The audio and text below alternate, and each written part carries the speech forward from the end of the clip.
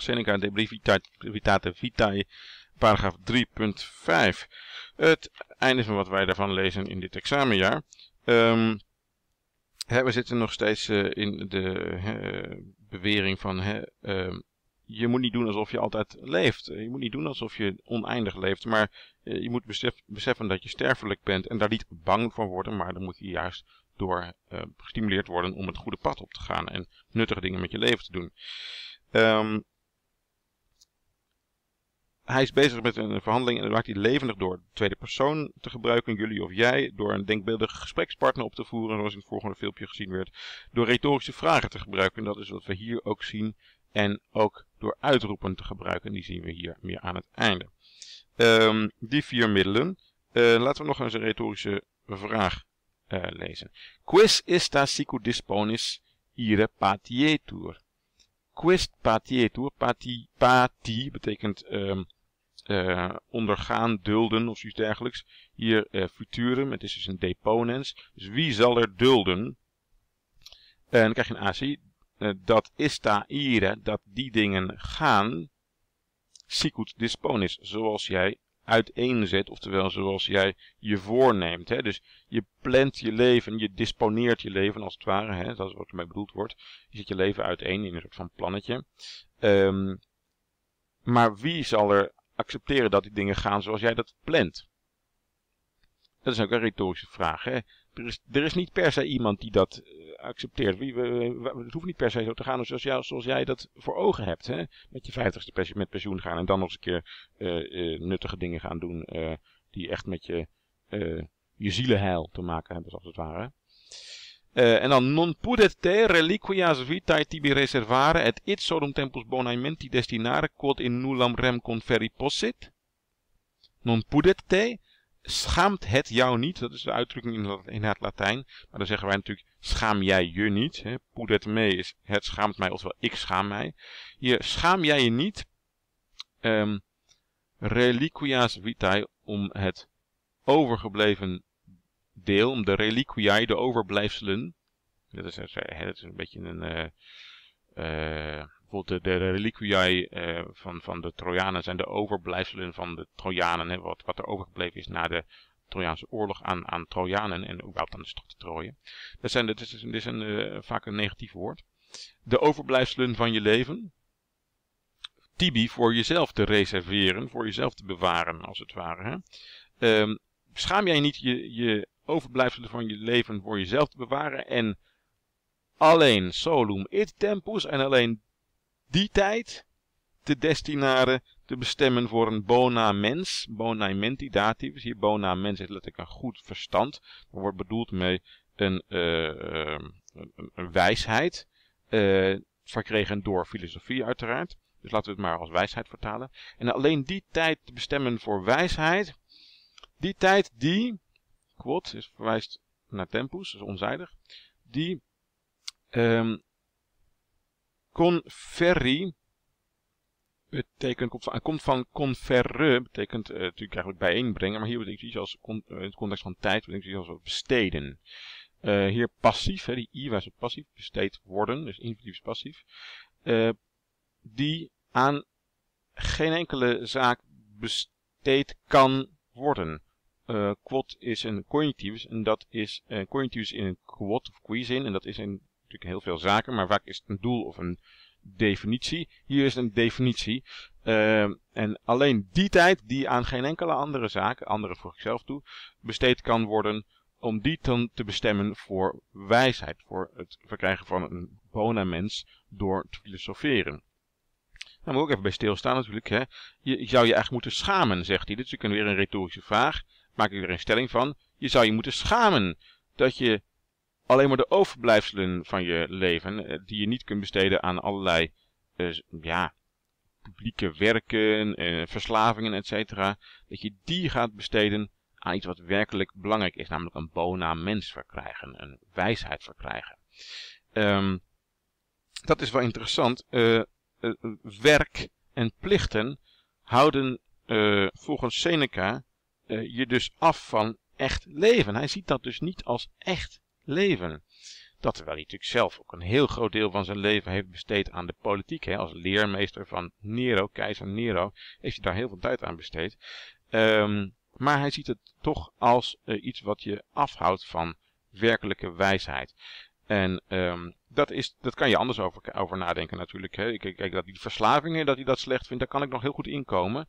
Dat, je, uh, dat het ja tijdverspilling vindt. Maar dat je uh, je werk en je, je officia, uh, je taken, je publieke taken, dat je dat als tijdverspilling en niet het echt leven ziet.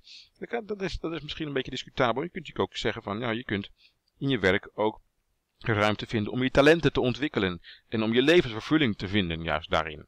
En dat hoeft niet per se in bona mens en in, in, in, het, in het filosoferen of zo te zitten. Maar volgens Seneca is dat wel zo. Wel interessant geformuleerde gedachten overigens. Um, dan een uitroep, een exclamatio, dames en heren. Quam serum est tunc vivere in Cypre cum desinendum est. Hoe laat is het om dan te beginnen te leven, in Cypre vivere, te beginnen te leven, wanneer er opgehouden moet worden. Dit is een gerundivum met s, dus van verplichtingen.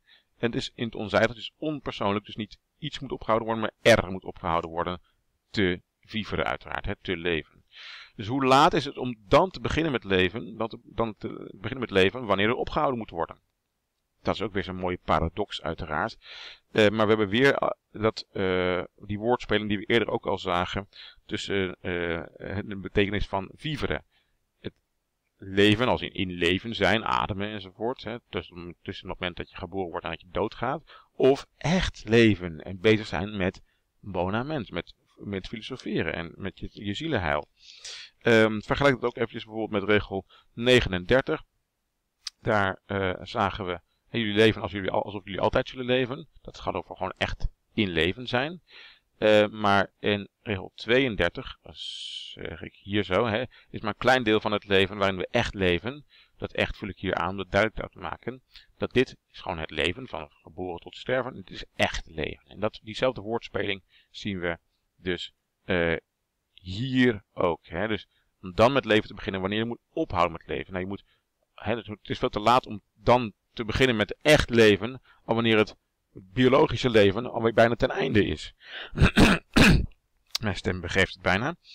Um, en dit is een, uit, een uitroep. Er staat hier weliswaar, voor zover we kunnen zien, nu geen .com, maar in ons boekje staat, sorry, een uitroepteken, maar in het boekje staat wel degelijk een uitroepteken. Je zou er eventueel ook een uh, vraagteken kunnen lezen, dan wordt het een retorische vraag, maar het is denk ik wel mooi om hier toch uh, een uitroep in te interpreteren. Um, omdat het wat sterker klinkt. Het uiteraard ook een soort van antithese. Beginnen en ophouden zit daarin. Uh, maar laten we dan snel even naar het volgende. Quae tam stulta mortalitatis oblivio in quae quagesimo de seximogesimo annum differe sani concilia et in de vella vitam in cohare quo pauci perduxerunt. Uh, wat een zo domme oblivio uh, het vergeten van de sterfelijkheid. Ja, oblivio is ja, het vergeten, vergetelheid of zoiets dergelijks. Uh, hè? Dus wat is die domme, wat is het een domme vergetelheid? Wat is een zo domme vergetelheid van, het, van de sterfelijkheid? Wat, hoe kan je dat mooi vertalen, jongens? Uh, doe, eens, doe eens even mee. Um, um, hoe dom, voor mijn part, hoe, hoe, hoe, zo dom Nee, hè, wat, wat, is die zo domme... Ja, laten we zeggen. Wat is dat zo domme vergeten van de sterfelijkheid? Wat is uh, dat zo domme vergeten van de sterfelijkheid? Het is een genitief objectivus. Uh, kun je beter zeggen, het is super dom om, te, om te vergeten dat je sterfelijk bent.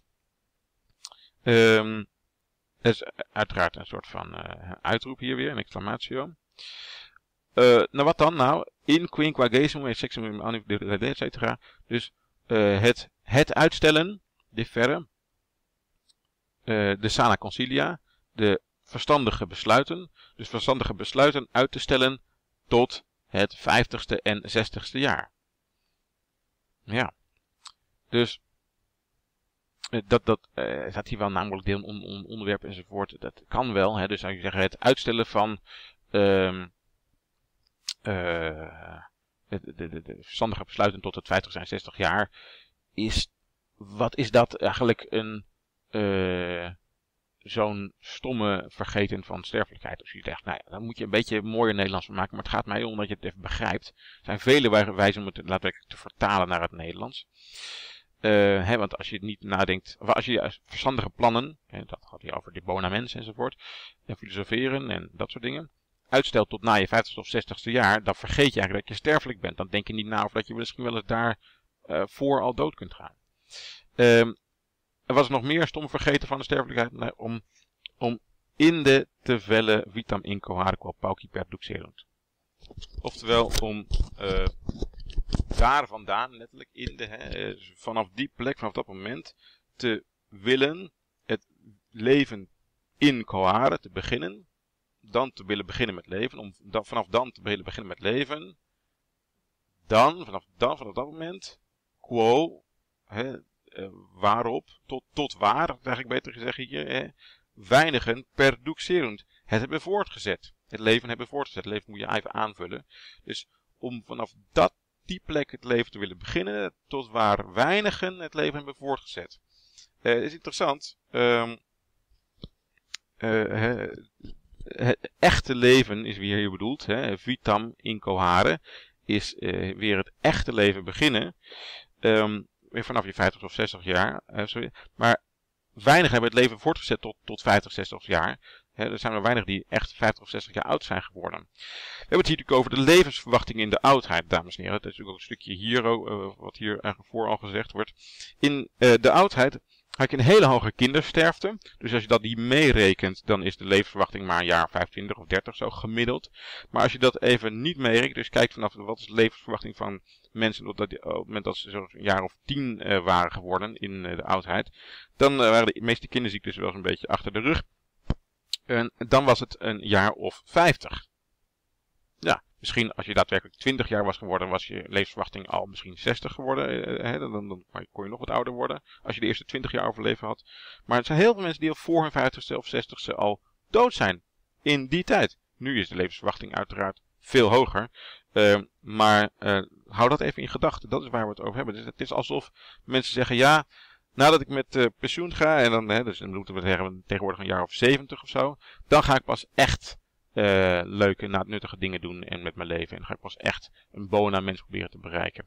Nou, zijn er genoeg mensen die met hun 70 of misschien 80ste uh, al, al, al dood zijn gegaan. Dus waarom zou je het uitstellen? Hè, dat is zonde. Dat is heel onverstandig. Um, ik sluit dit uh, stuk af, dames en heren, met een aanwijzing van, het aanwijzen van een samenvatting eigenlijk van de oorzaak van al die fouten van de mensen. Het hebben we een mooie uh, drie of vier woorden die we kunnen gebruiken als, aan, als samenvatting, namelijk deze. Tam stulta mortalitatis oblivio. Het vergeten van de sterfelijkheid. En dat is de tam stulta oblivio. Dus zo domme vergeten, vergeten van de sterfelijkheid. Als je vergeet dat je sterfelijk bent, dat zorgt ervoor dat je uh, eigenlijk uh, je overgeeft aan al die, die, die, die, die verlangens, al die verslavingen. En omdat je al die verlangens hebt, uh, zeg je eigenlijk, uh, ik heb niet genoeg om aan, mijn verlangens te voldoen. Niet genoeg tijd bedoel ik. Uh, en dus vind ik het leven te kort. En dan zijn we weer terug bij waar we begonnen waren in alinea 1 van punt 1. Weet je wel, mensen zeggen dat we zo'n kort leven hebben. Dat is een mooie um, redenering die we hierin vinden. En ik vind dat Seneca dat best wel mooi heeft opgeschreven. Uh, en dus even de credits naar hem. Ik hoop dat jullie hier iets aan gehad hebben. En uh, veel succes ermee. Dag.